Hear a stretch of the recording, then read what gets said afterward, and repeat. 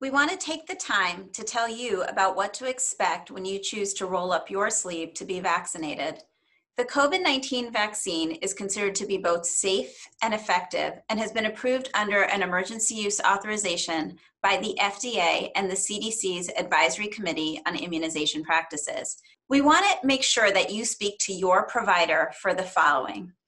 If you have an immune system that is compromised because of a medical condition or because you take medications, please take this opportunity to discuss with your healthcare provider the risks and benefits of getting vaccinated. In most cases, people like you will not mount as great of an immune response to the vaccine, but there is no reason you should not elect to be vaccinated. So remember, speak to your provider. If you are pregnant or breastfeeding, speak to your provider about your risk of COVID 19 and the potential benefit of being vaccinated although pregnant persons weren't included in the trials, we know that pregnant persons are at risk for complications of COVID 19 and make up a significant number of our healthcare providers and workers and essential workers. If you have a history of severe allergies to vaccines or the ingredients or components of this vaccine, please make sure we know about it and discuss with your provider before you schedule an appointment we are prepared to attend to any person with an unexpected reaction. If you decide to be vaccinated, please make sure you schedule for both the first and second shot. Both shots are needed to get the full effect of the vaccine, and the shots are three to four weeks apart. On the day of your vaccine, make sure you don't have any symptoms of COVID 19.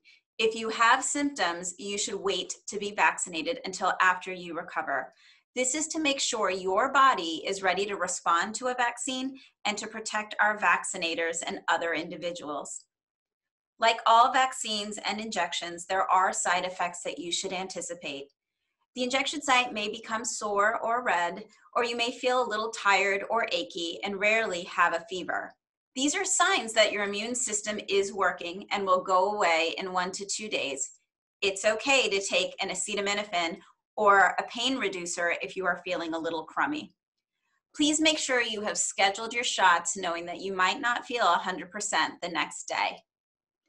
We will have a number for you to call if the side effects are severe, and if you have a high fever, you should be assessed by a healthcare provider. If you have itchy bumps on the skin, swelling of your face, or an allergic reaction like difficulty breathing or anaphylaxis, please seek immediate medical attention.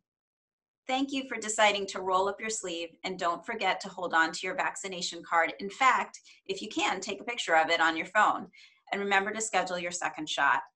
It's going to take time, months in fact, for us to vaccinate our entire community. So don't forget to keep doing those things you have been doing. Wash your hands, wear your mask, and wash your distance.